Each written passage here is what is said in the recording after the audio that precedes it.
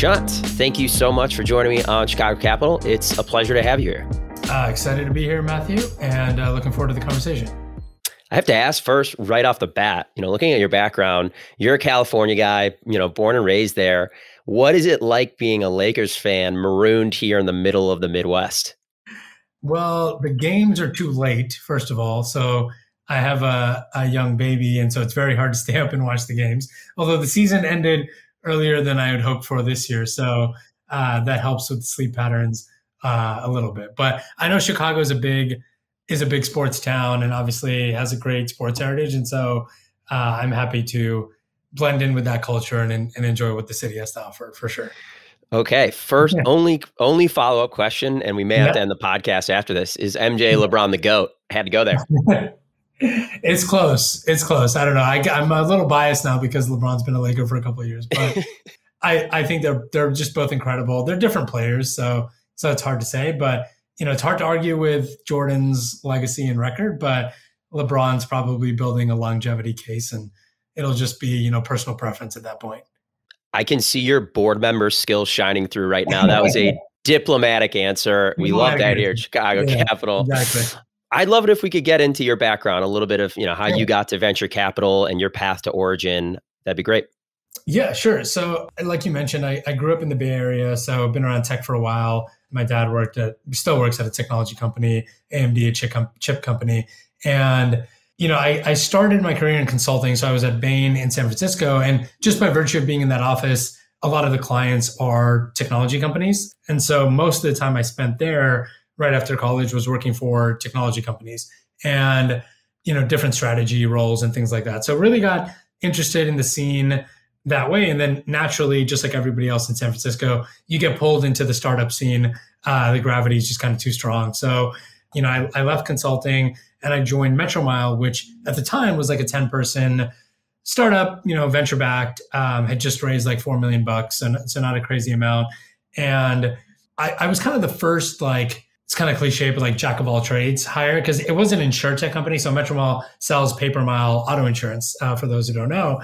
And like, there's obviously some, you know, when you're starting a insurance company, it's a little bit different than just like a, you know, enterprise software company. You need like insurance people and actuaries and, you know, claims people and things like that. So we had those people filled out and probably a couple engineers and designers, but no real business hire. So I joined and soon thereafter, I was basically took over product for the company because the prior person who'd been working on product left to pursue something else. So I was kind of the de facto product manager through an interesting period of growth from, you know, 10 people to over 100, raised a series A and a B after that, uh, moved the company from Redwood City to San Francisco, uh, launched a bunch of states and, and grew the company. So that was a really fun, interesting experience. I did that for about five years before deciding to uh, come to grad school here in Chicago, which is where I've been for the last six years. Um, so I did a joint public policy and MBA from Booth uh, starting in 2015. That's where I got exposure to venture capital for the first time. So obviously, I had met with and worked with and gone to board meetings here and there for Metromile, but I didn't get a true taste of what venture is until I started interning and working part time with some venture funds here in Chicago. Origin being one of them, which is which is where I ended up eventually joining in 2017, and I've I've been there for the past four years. And so, you know, just you'll you'll probably ask about this, but you know, what interested me in venture was the ability to work on the same problems I was working at on Metromile, trying to build a company, but across you know the whole portfolio that we work with, and kind of take some of the lessons I learned about hiring and growing and scaling a company and go to market um, and apply those to our portfolio companies. But I think it's just a really exciting time for technology investors. Startup is startups are so exciting and fun, challenging, but there's never a, a boring day. So I'm lucky to be to be a part of the ecosystem. I have to ask about the public policy masters uh, sure. from the Harris School. I was really curious about that. What was the impetus for a dual uh, master's degree?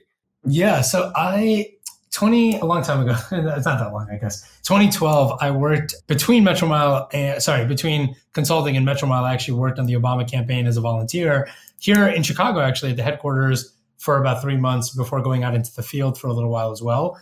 And you know my role wasn't very critical. I was just a volunteer. But i think i got I got a fun experience and got to rub shoulders with some interesting people who have gone on to work in government or launch political consulting arms or media arms and things like that. And I, I know that, you know, even if it's not right now, although I'm involved with a couple nonprofits, but even if it's not right now, I'd love to get my hands into some policy, philanthropy, nonprofit stuff. And so, you know, it, it only added a couple of quarters to my schooling and I was working through that time anyway, just even though I was in a full time program. So, you know, just decided it was interesting enough. I wanted to get exposure to the professors and people in that school, and I wanted to um, make those connections and, and have that base if I needed it to do something in the future, whether it's five years down the line or 15 years down the line. This is, we're now getting off schedule, but I, I'm now really mm-hmm. curious. Your sure. experience in politics, your experience in public policy, I would imagine a lot of that is spent constructing arguments, you know, convincing people. Do you find that that experience helped equip you, helped equip you to become a board member or a board observer? Are those sort of lessons and tactics you draw upon today?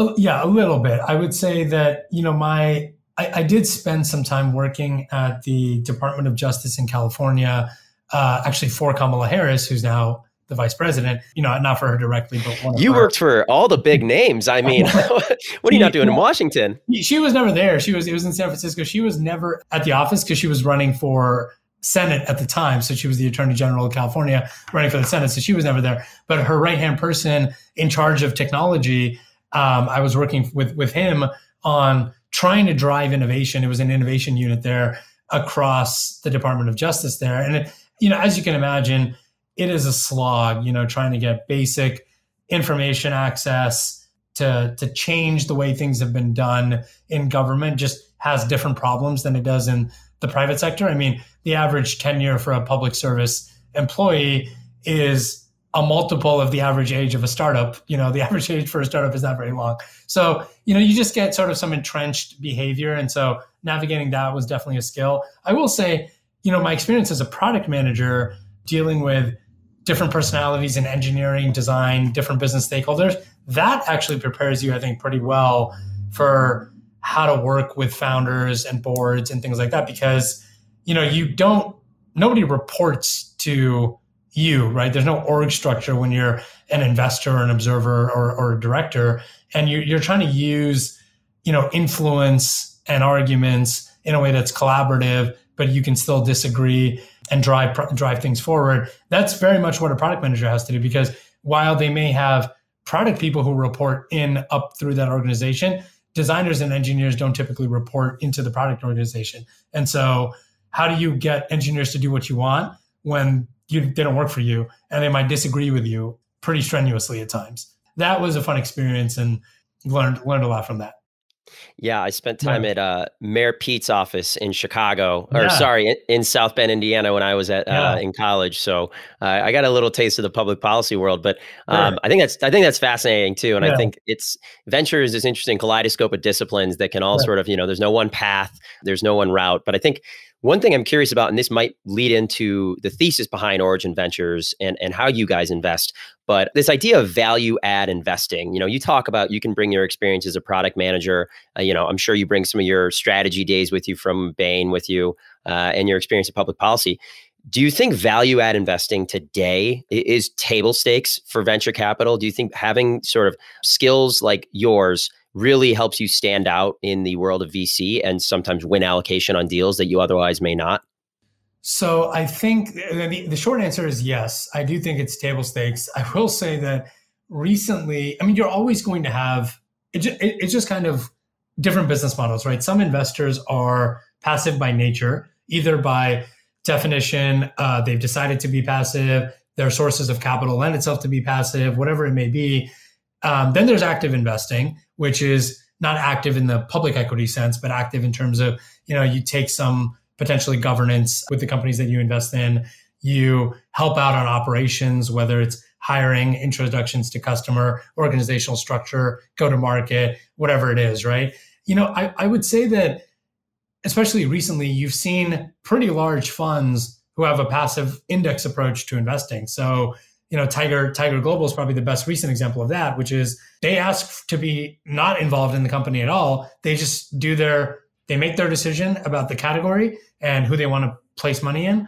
they're sort of price insensitive up to a point and they move very quickly and they're buying an index late stage technology companies. And, you know, we can argue about the that strategy. Nobody knows if it's right or wrong for another 10 or 20 years. So it's hard to say, but that's, that's also a symptom of companies staying private and not going public and able to, you know, you used to go public like, I mean, this is, this is when I was super young, but you used to go public and raise 10, 20, 50 million, 100 million bucks in an IPO. Nowadays, nobody cares about those IPOs. I mean, if you're not raising multiple hundreds of millions at decacorn plus valuations in an IPO, you sort of don't matter. And so I think what some investors, SoftBank being one, Tiger being another, there's a lot of other hedge funds coming down market as well.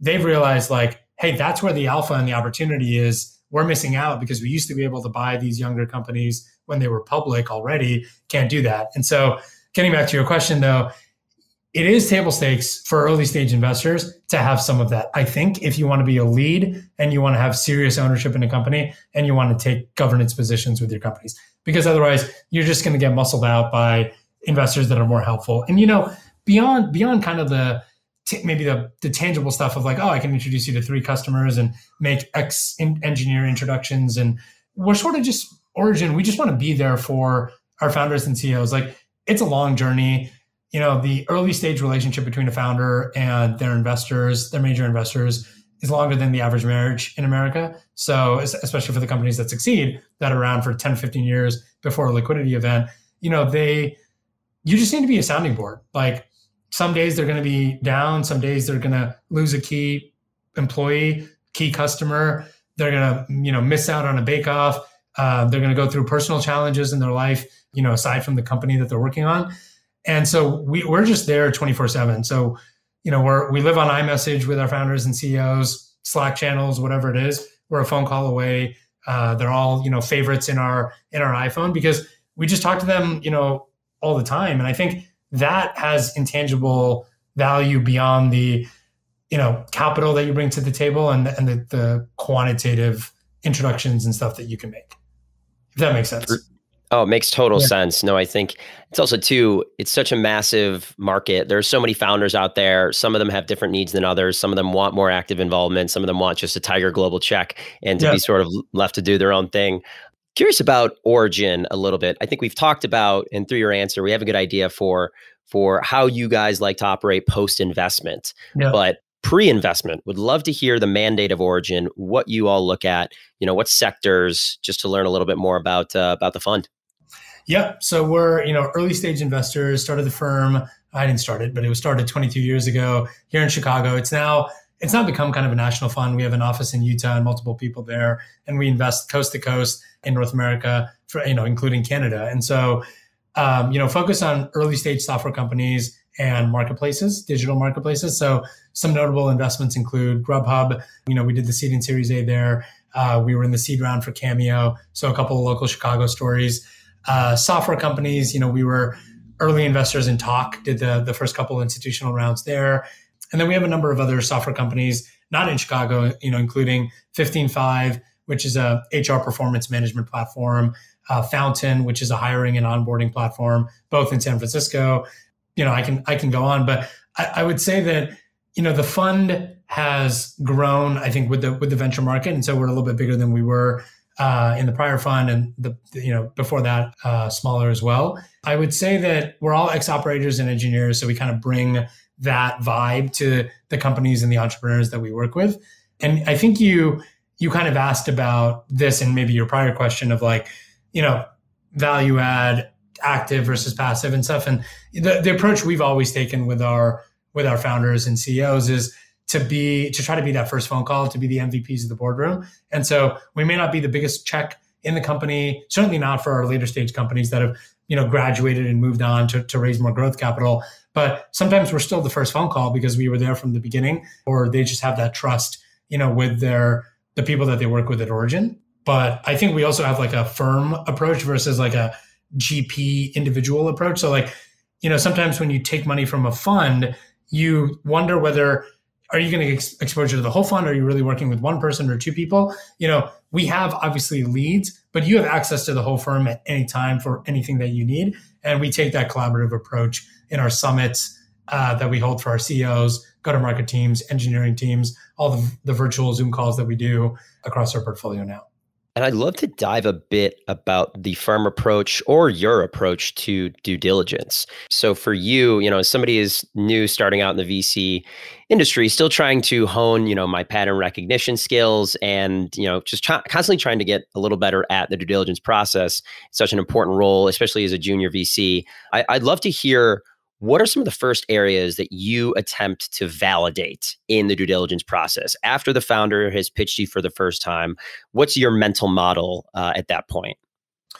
Yeah, I mean, and, and I think you know implicit in your question here is like speed, right? Like the market has. I mean, I've only been in venture for a little over four years, but it's frenetic, right? I mean, deals are getting done same week Tiger will wire within three days of meeting a company. So you're competing against that a little bit and they're coming down market. But you, you just have to be really quick to assess whether you're going to take the next step. And so, you know, at Origin, we may in the past have had longer diligence cycles. Here, it's shortened a lot. You're going to do a couple of things. You're going to make quicker individual decisions about whether you think this is something you want to bring to the team or not. Um, because we still, while we don't operate on a consensus basis. We're kind of too big for that. We still want to make sure that enough people at the fund get bought in and exposure to a deal because we we rely on each other's expertise and judgment. We punt more things to post term sheet than we would have in the past. You know, an example of that might be customer calls, right? We might have done those or in-person meetings like with COVID, that's complicated. You might have done full in-person management company meetings prior to a term sheet before. That's out the window now especially with the pandemic, but also because speed, you just can't do that anymore.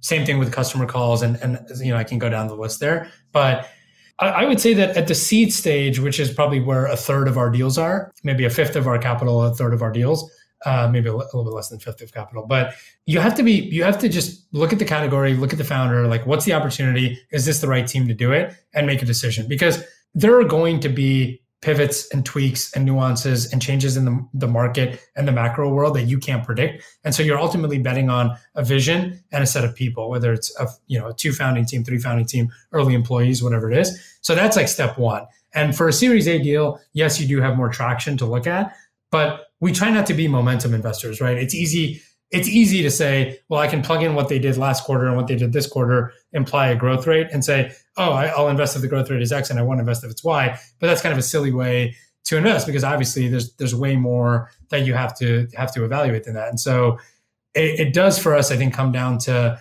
team, market, uh, the long term vision, and then all the other things that you might consider around competition, ability to hire, how helpful we can be to the company, right? Because like there's only 20 or so investments we can make out of a fund. There's a lot of great opportunities that we see but where can we make the most difference to a company? We have to be picky about that as well. And so you know we, we pretty quickly i will say individually meet a company am i going to push for this one or not? And you make that decision and then you hit a second break point once you've gotten deeper had more exposure for the team for origin to the company and vice versa, and meet more people at the company. And then you make a decision after that pretty quickly. So I try to get to conviction quickly, but it's weakly held, if that makes sense. Like strong conviction, but weakly held. curious yeah. about the Series A stage, I mean, yeah. I think you are Origin's sort of one of the first funds that I've had on the show. I've had a lot of Chicago funds, and usually there's a focus on you know firmly seed, maybe some pre-seed, maybe some early Series A, and, and maybe this is definitional almost. But for your Series A investments, are you looking for product market fit specifically, or maybe signs of product market fit? Is that how you're judging your Series A investments at a high level, at least? Yes, it is typically, you know, you want to have signs of traction, right? Like, are you, if you're a consumer company, are you signing up customers? It doesn't need to be revenue, although revenue is great. But, you know, if it's a consumer business, let's say, like, and monetization isn't quite figured out, but you're obviously, you've hit onto something um, with consumers that your value proposition is resonating. People are signing up, downloading your app, whatever it may be. On the B2B side, typically, you know, if you're looking at either bottoms up or top down sales, you can look at some of that traction, uh, look at the pipeline. You can evaluate kind of PLG product led growth companies and do an analysis there.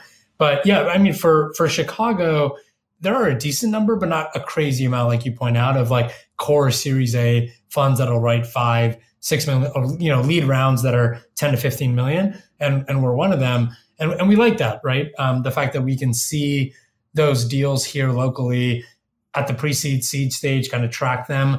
You know, it is competitive though, I will say, especially with COVID, funds on the coasts will come to Chicago to do Series A deals. Historically, it used to be more at the B stage. They would kind of bring growth capital, but it, they're they're coming earlier. Um, so we we do have to form those relationships, you know, kind of early. But we do look for product market fit. We are willing to be pretty flexible there. I know there are some funds who'll say, if you don't have two million in you know revenue, whatever that may mean for your business, don't talk to me, right? And like we've done Series A deals where companies have less than a million, sometimes zero, sometimes 5 million in revenue. And so we're pretty wide on the spectrum. So we, we play in the pre seed, play all the way to late stage Series A, and try to maintain that flexibility. So we, we kind of have a focus on software and marketplaces. We have a focus, we have a thesis focus around digital natives, which you can read more about on our website. But it's this idea that millennials and Gen Z are now the generations that matter for purchasing decisions. Like the oldest millennials are in their late 40s. So we're not like kids anymore living in our parents' basements, although we might have been back when the financial crisis hit in 09. You know, are the decision makers for bringing software into our enterprises? What are the decision makers on buying homes or moving our, you know, trillions of dollars in wealth creation that is soon to happen around the uh, the markets and the economy. And so we try to find businesses that resonate with those people and then assume that it's going to spread up into into older generations and then it's going to have staying power as we move down into lower generations. But we do maintain option value geographically, as I mentioned. Uh, stage wise, we're pretty wide pre seed to post A, and we're not a huge fund. I know it's easy for you know a large NEA multi billion dollar fund to be multi stage. It's a little bit harder for you know a smaller fund that's based between the coast to do it, but but we're able to do it. And and yeah. When you were first starting out at Origin, yep. what were some of the challenges? Did you I guess did you find it challenging to look at a series A, late series A company one day and then move on to a seed company or a pre-seed company the next day? How did you get whiplash from sort of changing the heuristics you had to use? Yeah. How, how, what was that process like for you starting out? It's a great question actually because it's like I'm not cured of that, right? It's it's now it's like it's difficult because the questions like you go from one call one hour to another call the next hour and you know, one might be a pretty mature A deal with lots of cohorts you can look at and last three years of revenue that you can break down and talk about customers and churn and all this stuff. And then you're looking at an idea, a founder, and a deck, and they have, you know, no customers. They've been working on this for three months. They just like finished an earnout at some other company that they exited. And you do have to remind yourself, like, it's a completely different framework that I'm looking at here. And so you know, we, we have to train ourselves and keep ourselves honest, which is why I love our team because people will keep each other honest. I'm like, you know, hold on, like we can't evaluate this deal as if it were here. That's not where the pricing is going to be. That's just not the stage and the risk we're taking. It's just very different. And sometimes it's hard to, to keep that in check because you're working with so many portfolio companies that are all different stages. You're working with, you're looking at deals that are of different stages. And you have to remind yourself, like, hold on, I don't need to ask 50 questions about that customer because that's not the bet I'm making here. Whereas in a different deal, that may be the bet you're making. And it, it, it's a it's a great question because that's that's something you deal with when you're not like singularly focused on a particular stage, a narrow stage, which has its own benefits um, and and drawbacks as well. Have you ever come across a situation where you are looking at a, a late Series A, let's call it a company that you think has found product market fit, and that ability to switch between stages is almost a benefit when you head back to a seed stage investments because you can say my pattern recognition bells are sort of going off right now. I know the story of this Series A company. It got to mm-hmm. a Series A. It got to this valuation, and there's there's signs here in this seed stage company uh, yeah. that maybe it'll follow the same path. I know that's a broad question, but is something like that you know something that you almost view as a strength sometimes? No, it, it is. And, and even less so with like new deals we're looking at. We use that pattern recognition for our portfolio companies, right? And so we'll we'll talk about that with prospective investments as well. We'll say, you know, we know that you're missing XYZ executives at your company because we've seen this movie 10 times. Stuff is going to start breaking when you go from 10 to 20 employees or 20 to 50 or 50 to 100 and you don't have you know these people in place uh, that have done it before to, to kind of cover the gaps that exist in the founding team or the the existing executives we definitely do that so whether it's personnel go to market organizational structure technical debt we use that pattern recognition all the time because we say you know cameo is an example cameo was a seed company when we first invested now it's a pretty mature you know unicorn and for a lot of consumer companies, you know, Cameo did a lot of things right in the early days. So what can we learn from that? Um, and they, you know, they've been sort of an open book with, you know, Steven, CEO, talking about how he's built his company. Now he's gone remote first with COVID. You know, wh- how does he run his team? How does he manage himself? Those are things that founders should pay attention to because you don't have to reinvent the wheel. Like certain things you can do differently for sure. Uh, and, and maybe you should, but you can look to case studies and say, well, let me learn about that. So that's a lot of the value I think we can bring, which is I've lived this last year with another company. Let me walk you through what they went through.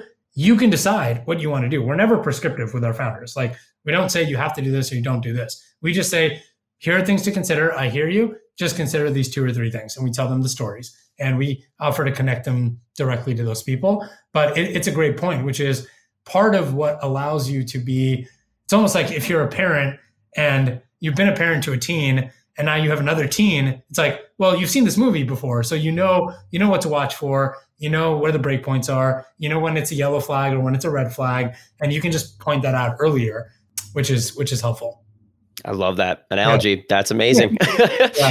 Yeah. I, you did mention Cameo, and yeah, I have to ask. You know, I, I'm really curious as to when Origin did seed Cameo.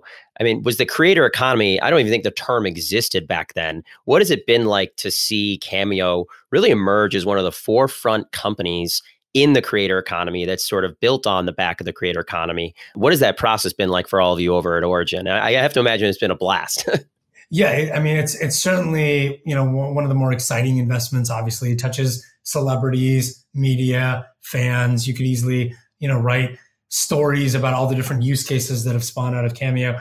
I think the, the thing for us collectively as a firm, and Brent, my partner, is the lead, the lead on that for us. But the whole team, when we first got exposure to the to the founding team, we saw the reaction videos first of all. So we saw like the birthday wishes and the reaction videos, and we said you have to pay attention when a product for 40 bucks, 50 bucks, 30 bucks, 70 bucks can make grown adults or anybody really fall on the floor and start laughing or crying. Like you're just creating such magic there. Like you have to pay attention when that's happening because I know that doesn't happen in B2B enterprise software. Like nobody opens up Airtable and is like, oh my God, and starts laughing or, or crying because of how it touches them. And so, you know, we started using the product and obviously watching their growth has been has been incredible uh, for that team there and kudos to them. So it, it's one of those things where it was so early. They had, you know, some revenue, but very, very little and you just kind of had to believe that Steven's vision of you know xyz you can you can basically pay x amount to have y celebrity do z activity there's going to be a market for this because his point which he was right about by the way like the creator economy wasn't a thing then you're right he talked about there's this long tail of talent i'm telling you it exists like he had been walking around chicago for two years trying to get people to believe him that people would pay money for like you know what they derogatorily maybe call C and D list celebrities, but it's this long tail that has a passionate following. It's not LeBron with 20 million Instagram followers, but it's somebody who has 250,000 fanatic YouTube followers that you know listen to every word that they say when they're streaming on Twitch. Like that's real too. It's not LeBron real. It's just different. And so he was right about that. And that's that's the bet we took, which was that's a real market, and this is a real magical experience that you can create leveraging that kind of marketplace. And so that's been a really fun one to see. And, you know, we've, we've been supportive of them, you know, all the way through here, their most recent round. Um, so we couldn't be, couldn't be happier for that founding team and, and the whole company.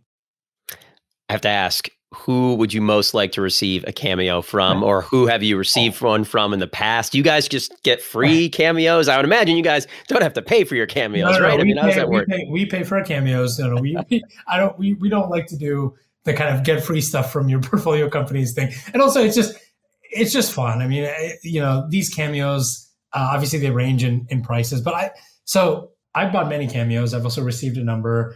I, it's hard for me to think about the best cameo or the one I would want to receive most. I mean, Magic Johnson just joined, so a cameo. as a board member, yeah, right, as a board yeah. member, and now he's on cameo. So uh, you know, a cameo from Magic Johnson would probably be pretty special. But you know, the, the best one I bought was probably one from Kareem, actually, uh, also a former Laker, for for my dad for Father's Day, and he just he's a huge Kareem fan. He was in LA in the 70s and 80s, and so you know his reaction to Kareem saying his name and talking about his life story was was pretty incredible. Yeah. You mentioned Steven. First off, Steven's Twitter game is amazing. I kind of have to give him a shout out. Mr. 312. Yes. Yeah. It's awesome. You mentioned his vision and the belief that he inspired in you guys, even at such an early stage. What are some other really great green flags that you like to look for out of founders at those early stages where it might just be an idea in a pitch deck? For you, what are some, you know, alarm bells that ring in a positive way uh, mm-hmm. for founders?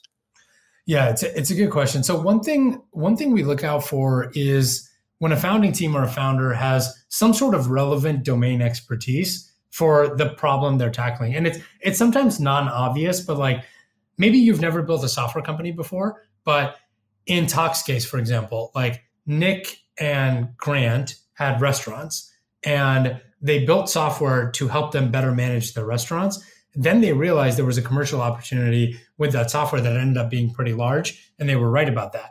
Now, Nick knows restaurant owners and the business of restaurants really well. He doesn't know how to, he didn't know how to build a software company because he hadn't done that before. Uh, now he has. But it's that kind of insight, which is like, well, yeah, they're not like B2B software experts, but he understands the plight and the challenges of the target market he's going after. And so we've seen that in a in a number of different cases that we've invested in and, and, others that we haven't. But that's something that we always look out for because it's like there's a reason why this idea couldn't be run by any team out there. Like I can't just walk down the street in San Francisco and pick three random people and say go work on this. There's there's something unique about this person working on this problem. So that that is a really positive signal for for us if I had to pick one. Yeah, no, it's that idea, I think, of earned secrets. And I think yeah. uh, Tock's a great example too. And this conversation around domain expertise, you guys are software, you know, avid software investors. Is the idea of verticalized SaaS solutions. Tock's a good example, but are there any other ones in the portfolio, or is that sort of a trend that you are interested in, or you guys are actively looking to invest in, you know, vertical software solutions? Yeah, I, we, we definitely are. I would say more of our software investments are horizontal, and maybe that's just because when you when you have a vertical play, domain expertise is really important. Number one, and number two, sometimes you just get pulled horizontally because of market opportunities and expanding your TAM, and also sometimes it's easier to apply certain software companies, you know, more more broadly horizontally. Um, we're certainly not averse to to vertical plays. You just have to you have to have the right combination of like domain expertise, enough of a market opportunity there.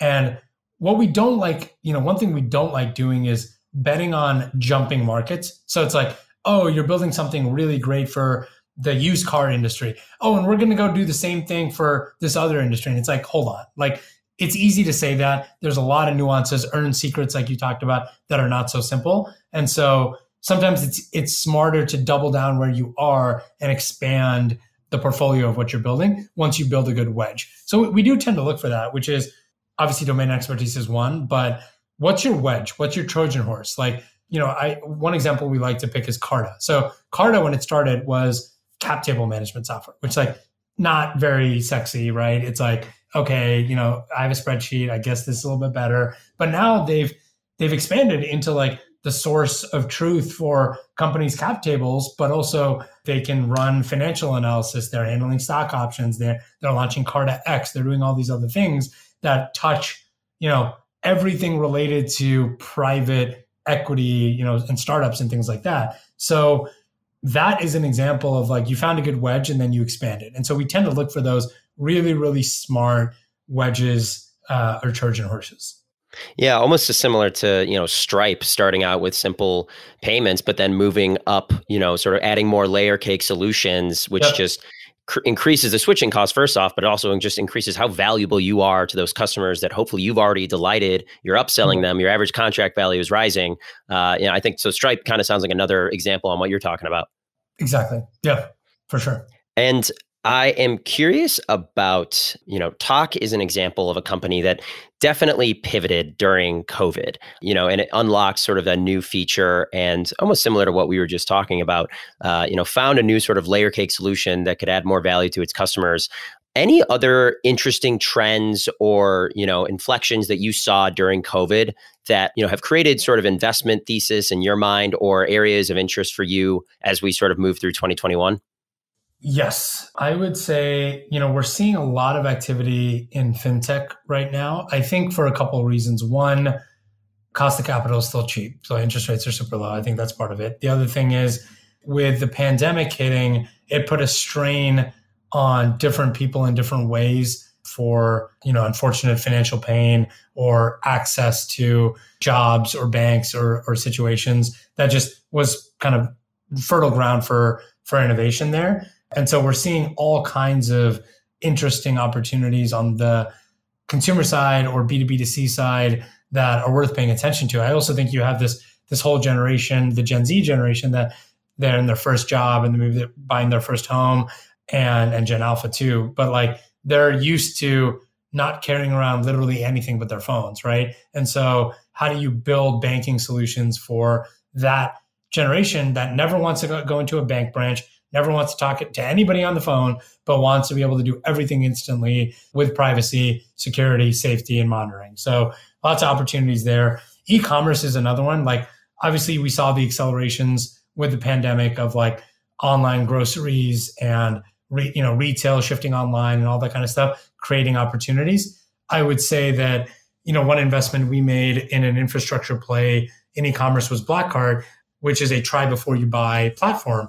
And we think that the opportunities in e commerce are only going to get bigger, not smaller. When you think about all of the stuff that is still done in person in retail across the different categories, there's still a lot of opportunity for disruption, both for in person interactions and making it more efficient, making it safer, making payments easier, making discovery easier, making supply chain and logistics easier, and then obviously the online angle as well across discovery, search, you know, payments, logistics, uh, security, all, all the way through. Yeah, BlackCart's one that I'd love to hear a little bit more about. It, it seems like it's a great use case, great example that fits very firmly into your digital native thesis.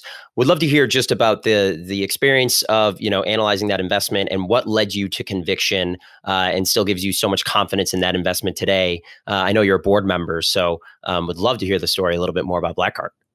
Yeah. So, you know, I first came across BlackCart um, from one of their seed investors and immediately thought, well, that's, that, that makes sense. Right. And that, you know, you asked about kind of conviction. How do you decide early on to pursue a deal or not? And it's like one of those things where you, you know, I, I met with the founder, Donnie, and the way he explained his background and the vision for the company and what it was solving for just made a lot of sense. It's like if I go into Nordstrom, right, and I try on jeans, like I don't pay for them before I go into the fitting room.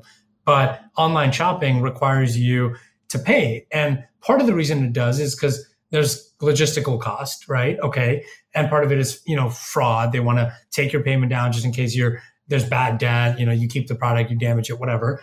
It totally makes sense. But that's not everybody. I mean, most people online shopping are acting in good faith and they actually just want to be able to try stuff because you don't know about the fit. You don't know if the colors are exactly what they look like on your computer.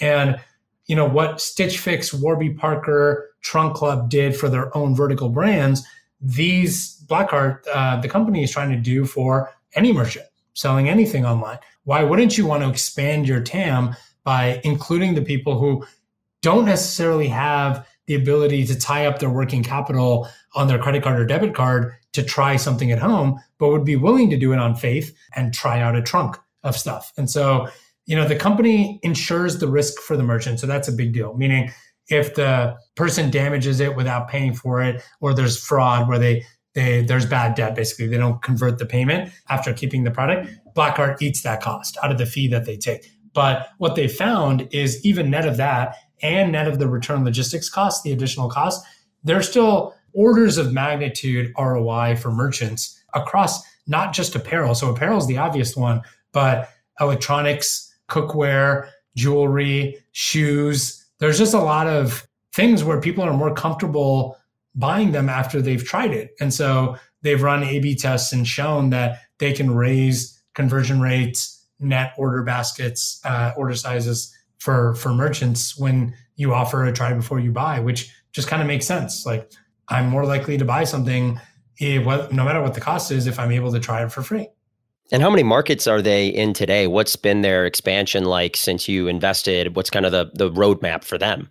Yeah, so I mean they they integrate with all of the large kind of online storefront companies. So Shopify being the best example. So like if you're a Shopify plus merchant, which there are, you know, obviously a, a large number and growing very quickly of merchants, they tend to target merchants that are a little bit larger. So not just super small merchants, but not super big either, right? So kind of the thick middle on Shopify Plus. So they're not, you know, constrained so much by selling to, I mean, when you ask about like which markets are they in, it's more like, you know, they cover North America pretty cleanly. They have some customers that are European and they're looking to expand more internationally. There's just some nuances around the fraud and and how they run some of the, the credit checks on customers. But you know, they they have a vast array of different, I would say, consumer products already categories on there. You know, apparel, electronics, cookware, jewelry, watches, shoes, etc. And are they based in Kansas City? No, they're based in Toronto. Actually, Toronto. They have, Got it. They have employees kind of all over. They have some in the U.S. and they, they have a number of remote employees, but their headquarters is in Toronto. Got it. Yeah, Toronto, I know is a really exciting ecosystem. Yep. I mm-hmm. think we're looking in Toronto. I think a lot of mm-hmm. firms yep. are sort of keying in on Toronto as kind of one of the mm-hmm. next new sort of secondary markets. When did that sort of interest from Origin really start in that ecosystem?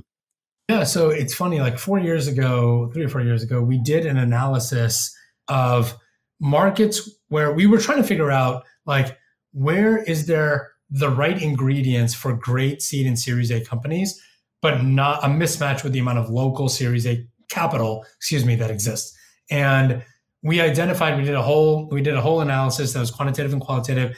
And the two cities that were spit out, or MSAs, I should say, Atlanta and the Toronto corridor, right? And so we started spending time in both of those markets. We've now made an investment in Toronto. We made another Canadian investment, not in Toronto, but Canada, I think, is coming up as a really, really good market for US based investors because I think there's been a mismatch in terms of the capital, local capital that's been available. You know, they, they do have a good government funding kind of program and framework, but but in terms of private early stage capital uh, versus the opportunity there. So we we focus on Canada. We spend a lot of time in Atlanta. Uh, we have an investment that we're about to make in Miami, the Southeast. We have investments in DC and Pittsburgh and Boston. So we're like, we're everywhere. Like there's very few cities in North America where we either haven't made investment or haven't recently looked at a deal there.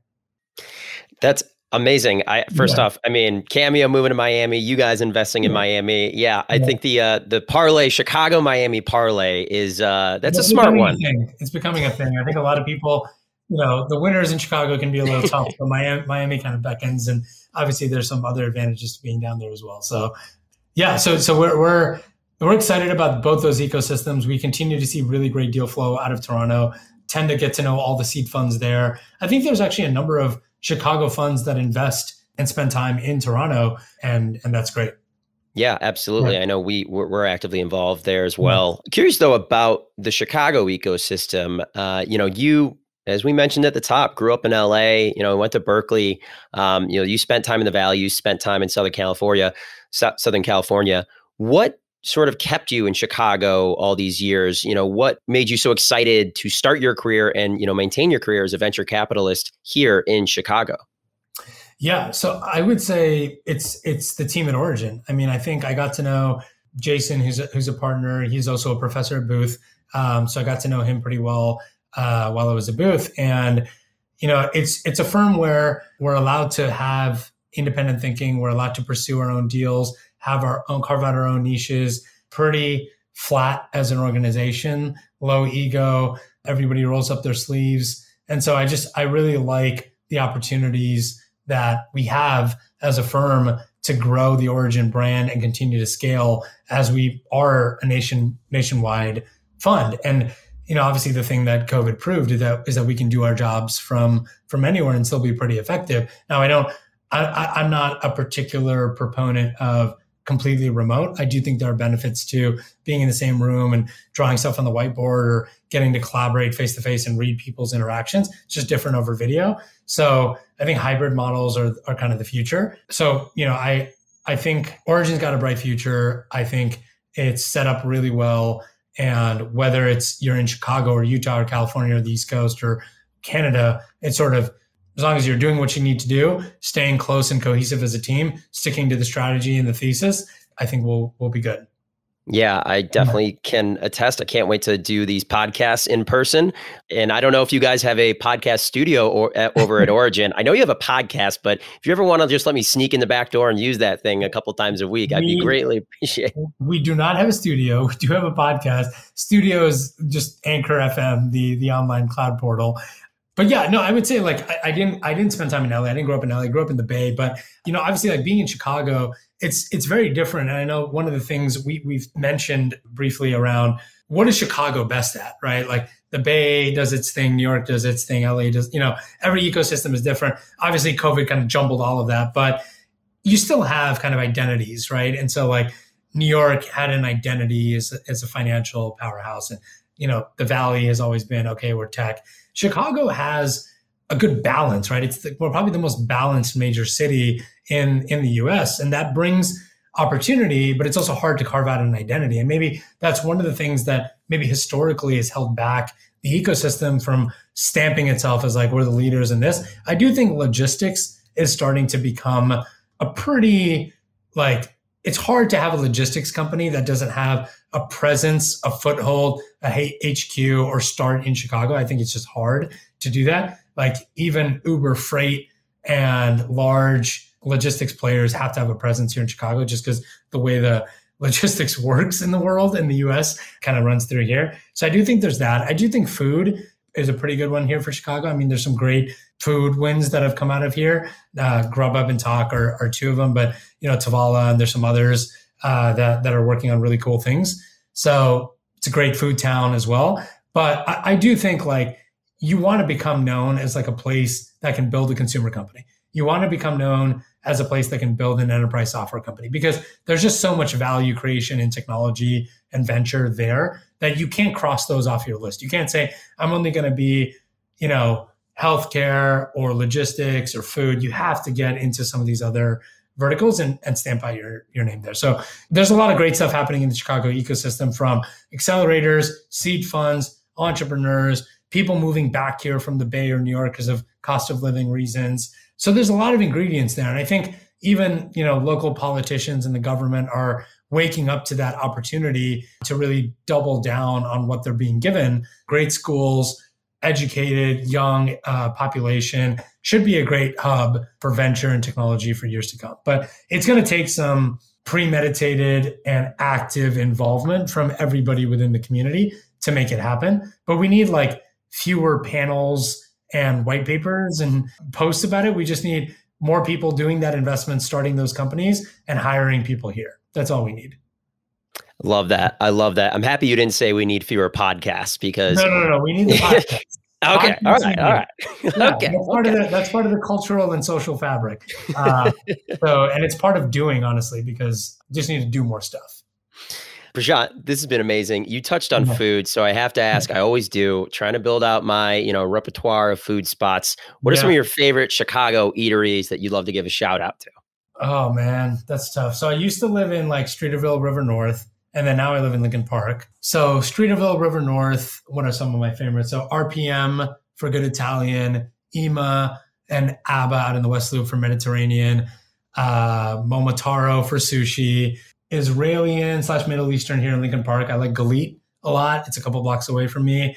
Oh, what else? For Indian food, I'd probably go Spice Room or Vajra. Those are my two. What else? Roister. Roister is probably my favorite restaurant in the Alinea Group family. Uh, it's also more affordable. That's probably part of it than uh, Alinea Next if you're if you're trying to budget. So yeah, so I know I know that was kind of all over the place, but those are some of my probably top five or six. I mean, I was furiously writing while you were speaking. I don't know if you could tell, but that yeah, was amazing. those are those are those are good. You can't go wrong with those. Beautiful. Prashant, yeah. thank you so much for hopping on Chicago Capital. We really appreciate it. This has been a blast. Awesome. Thanks a lot, man. You have a great rest of your day, all right?